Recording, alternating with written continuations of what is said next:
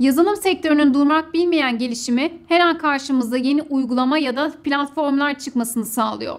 Günümüzde her işin mobil uygulamaları taşınması sektörün gelişimine hız katmaya devam ediyor. Sayısız platform gün yüzüne çıkarak programlama araçlarının kullanımını da artırır. Bunlardan biri olan Flutter.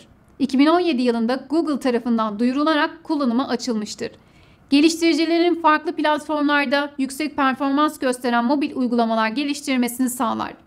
Yazılımcı ve tasarımcılar tarafından sıklıkla tercih edilen bir uygulamadır. Maliyet ve zaman açısından tasarruf sağlayan Flutter, kullanıcıların başarılı tasarımları imza atmasında büyük bir rol oynar. Mobil uygulama geliştiricileri arasında yer alan Flutter, çapraz bir platformdur. Dart isminde bir programlama dili kullanan bu teknoloji açık kaynak kodlu olup yazılımcı ve tasarımcılar tarafından ücretsiz olarak kullanılır. Bu dil Google tarafından 2011 yılında geliştirilmiştir.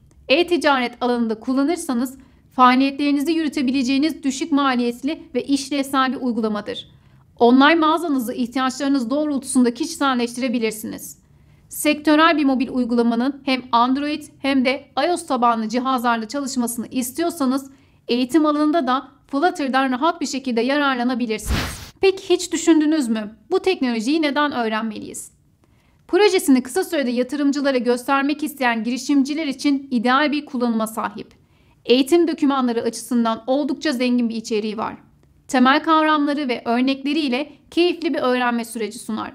Büyümekte olan bir topluluk olduğu için aradığınız yardımı rahatlıkla zamanında bulabilirsiniz.